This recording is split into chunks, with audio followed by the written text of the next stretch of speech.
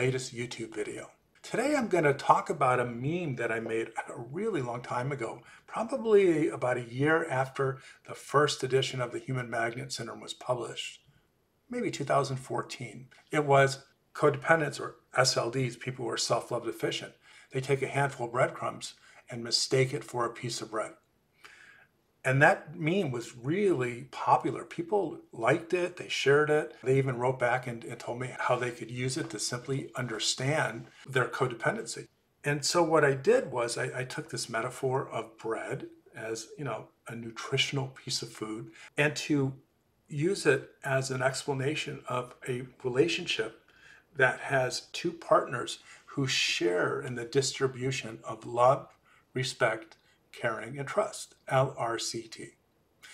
Incidentally, in my human magnet syndrome books, the definition of codependency, very simple definition, is a person who gives all of the love, respect, caring, and trust in a relationship, wants it to be reciprocal or mutual, finds out that it is not, and depending on their personality, they either try to equalize it but fail or they never try to equalize it. And that is as simple as it needs to be because it cuts across all types of codependents or SLDs, all the personality types, all the differences. No matter if you're what I call an active codependent, a cerebral codependent, an anorexic codependent, or the other personality types, all are involved in relationships in which they give all, or if not most, of the LRCT love, respect, caring, and trust they want it or hope that it will be returned. It's not and they stay. So I use LRCT as bread. In a healthy relationship, LRCT or a piece of delicious, yummy bread is given as much as it's taken. And no one counts or keeps track of it because it's done naturally, because of someone's affection and love, because of someone's shared values, because of mental health a shared connection of two mentally healthy people. But the sad reality is SLDs, people with self love deficit disorder, or as the world knows as codependents, they never experienced a relationship in which there was this mutual exchange of bread. And of course, if you are listening on my podcast, you missed my air quotes. The problem with SLDs is that they don't even think of a piece of bread because a long time ago, all the way back in their childhood, they were fed crumbs. They were fed pieces of bread that was very inconsistently given to them. They were hungry all the time. And when there were breadcrumbs or pieces of bread, that is what they thought of and that's what they came to understand as someone giving them nurturing, sustenance, support, caring, love, respect. And if you get used to it as a child and learn to adapt to times in which you get those little pieces of bread or the breadcrumbs, and that is good, that makes you happy, then you come to believe, well, that's the norm.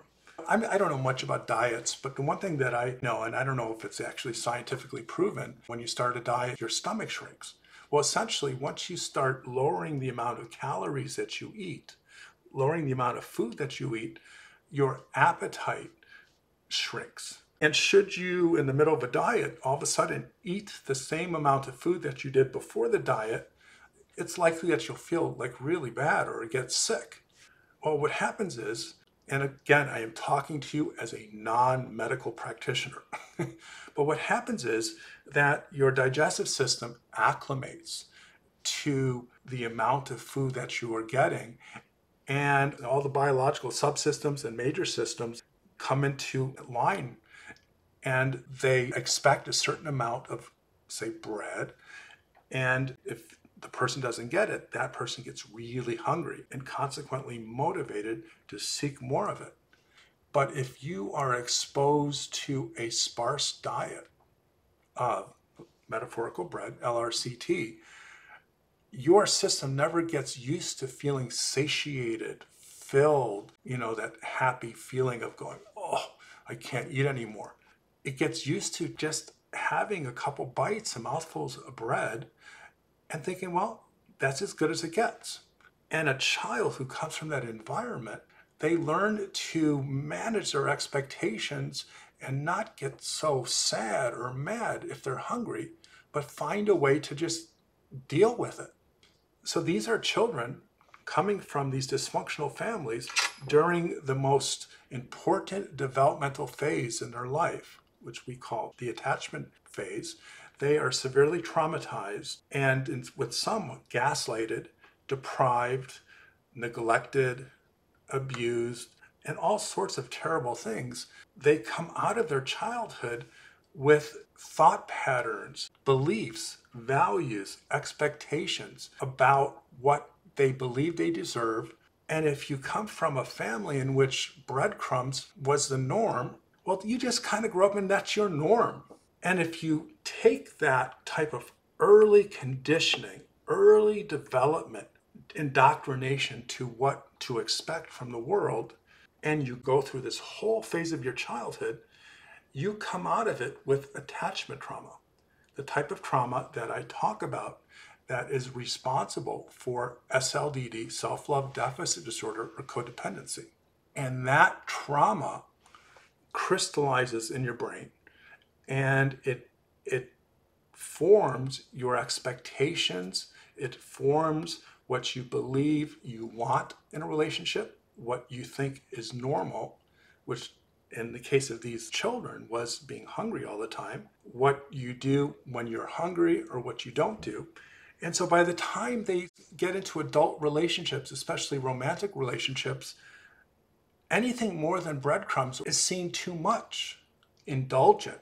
And for some who have experienced a very traumatic childhood with a parent whose mood, say they had borderline personality disorder, whose mood and affect would dangerously shift in a moment's notice.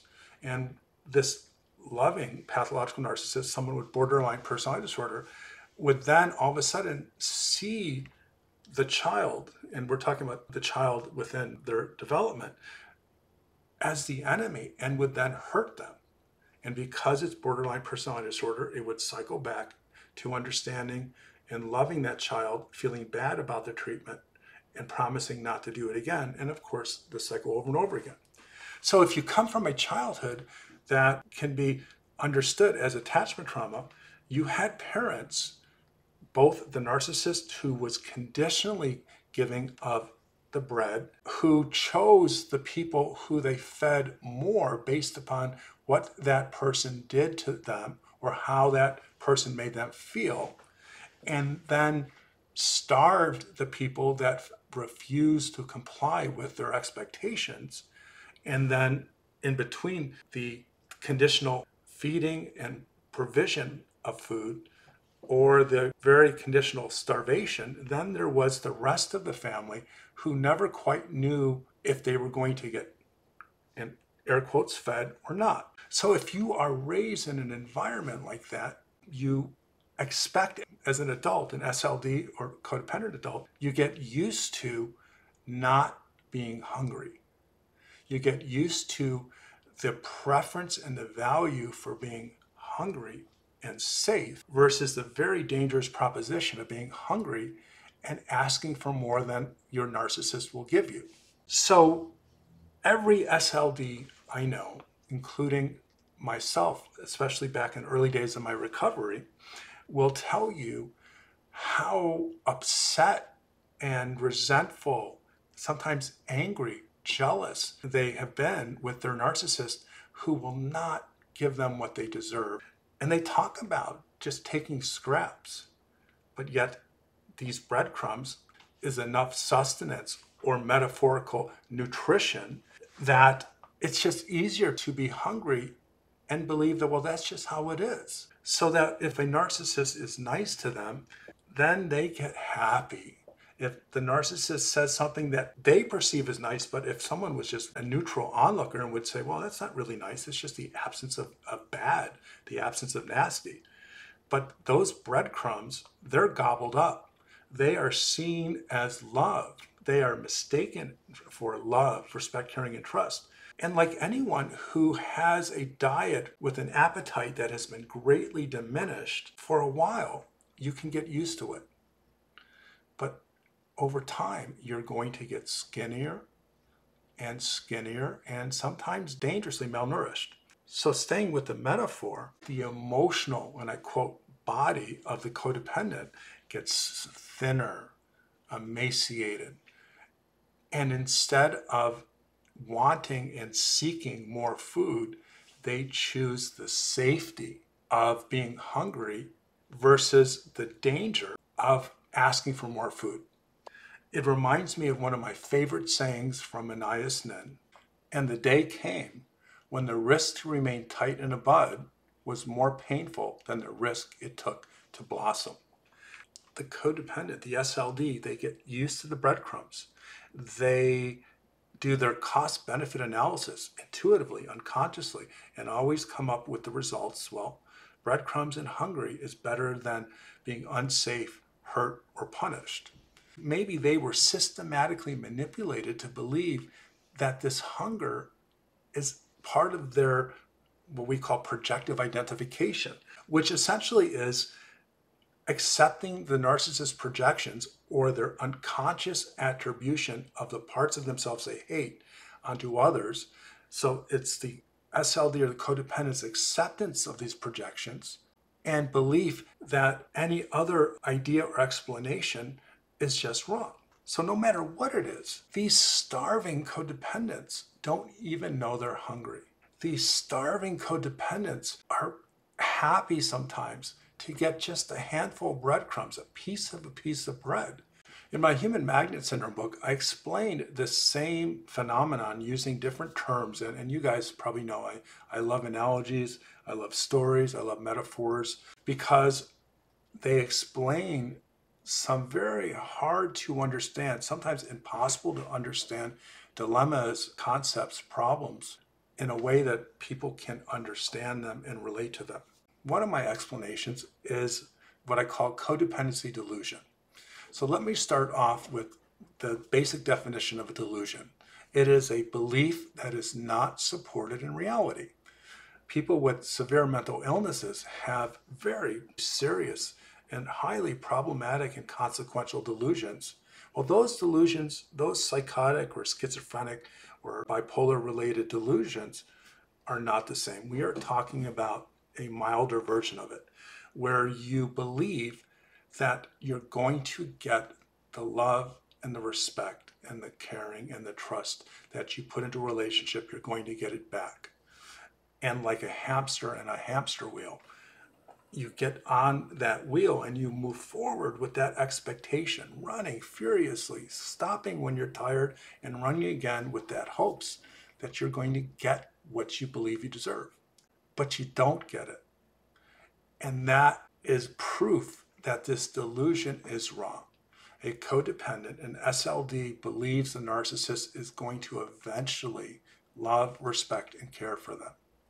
They believe that if they do something just right, they'll be able to convince the narcissist to see the light and not be so selfish. Or conversely, if they stop doing what they are told is wrong, which very well could be gaslighting, they are going to get the LRCT. Well, that is the codependent delusion, is to believe that your partner, your narcissistic loved one, is going to eventually give you as much LRCT as you give the other person. The other analogy I use comes from the study of child development, and it's called magical thinking. Children have this wonderful ability to imagine things in their mind, have imaginary friends, to have imaginary conversations, to believe things that are so far from factual truth. It is normal for a toddler and a young child to have magical thinking which is to believe that there's going to be a way to get what you want, you deserve, or someone promised you that you never really get. One day, daddy, say if daddy's the narcissist, he's going to show me love. One day, mommy, who is the codependent, is going to stand up to daddy and say, Stop hurting my kids And if you don't stop, I'm going to leave you. One day, I'm going to figure out exactly what daddy wants me to be and be that beautiful daughter or, or son that he's always wanted. Just one day. Well, that magical thinking, that fantasy rich thinking, is a survival and a coping mechanism for the child because there's not a child in the world. In fact, it is a part of our evolution, our biology. We humans and other animals, it is built into us to want to love, to need to love our parents, despite any indication that they don't love us. I worked in foster care for a very long time and I witnessed this with the kids who were taken away from their parents and would have these once monthly supervised visits. And they would get so excited and they would draw pictures and put on their best clothes and just be so almost manically excited to see the parent. And within a minute or two, the parent would act as they normally would. And in, in the cases that I'm talking about, the narcissistic parent would just have no interest in the child or would say something that would hurt the child, and that child would be devastated and go back to their foster home and, and, be, and be upset and act out. But yet, these children kept fantasizing about their parents. I guess what I'm trying to say is that all of this in combination, accepting little tidbits of love, respect, caring, and trust, and turning them into something bigger so you can imagine or believe that someone actually loves you and that you love someone and, and that love is going to have some benefit to you. In totality, it is not just a bad habit. As I said earlier, it comes from the child's upbringing. That is crucial to understand that the expectation and the acclamation to breadcrumbs is not a product of faulty thinking or faulty adult judgment. It is directly related to a survival or coping mechanism in their childhood that helped them survive a desert of a family in which there was not a lot to, and I say, quote, eat. And from that very important developmental phase of, of a person's life, then they have their expectations for others, or what I call a relationship template set. So if you are a person who has acclimated to breadcrumbs and found a way to see them as love, respect, caring, but you really know it's not true, and you can recognize your, your hunger pains as caused by starvation, not something you're doing to yourself or you have done to yourself, not because of your supposed mistakes or gaslit ideas about yourself that somehow justify in your mind you to be deserving of such hunger. And if we're going to solve this problem, which essentially is self love deficit disorder, we have to understand the narratives, the tapes, the scripts of our childhood that were written so that we would be an appreciating recipient of breadcrumbs. While I was thinking about this video, I had this flash to this movie I saw. I was probably seven years old. It was Oliver Twist, Charles Dickens' famous book, put into a movie. And there's this scene where a child comes up to the headmaster of the school and is really hungry because all those kids are suffering from malnutrition because of the selfishness and the lack of respect and caring for these children. So this boy, Oliver, goes up to the headmaster and says, Sir, I want some more. And Mr. Bumble goes, What? Please, sir, I want some more. More?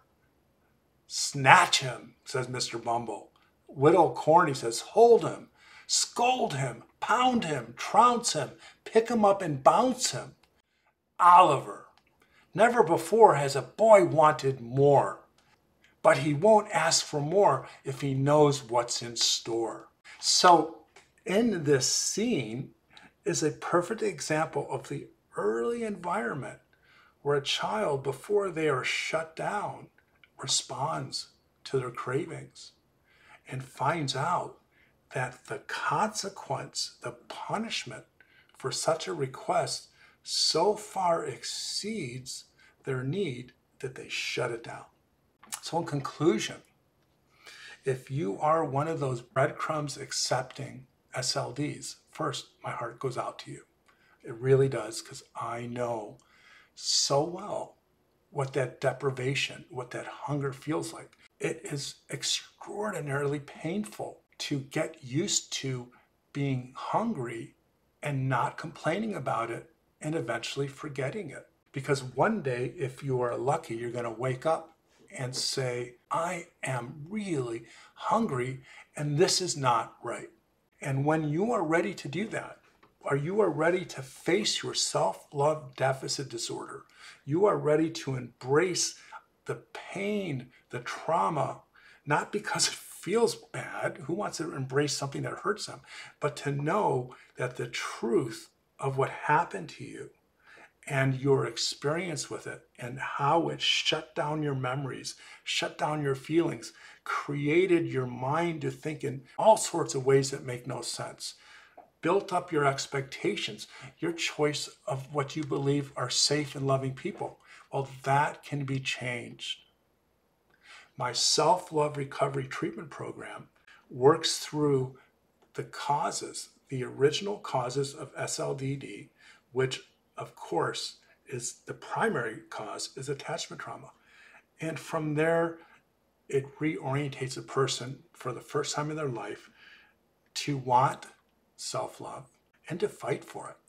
So I hope this presentation will help you understand why codependents or why SLDs seem so okay with being hungry all the time. And should you be an SLD who has accepted breadcrumbs or love, respect, caring, and trust, I am hoping that this discussion will prompt you to reevaluate, to embrace the pain of your hunger as something that can be changed. Until next time, don't forget that it is your birthright to be self love abundant. Bye bye.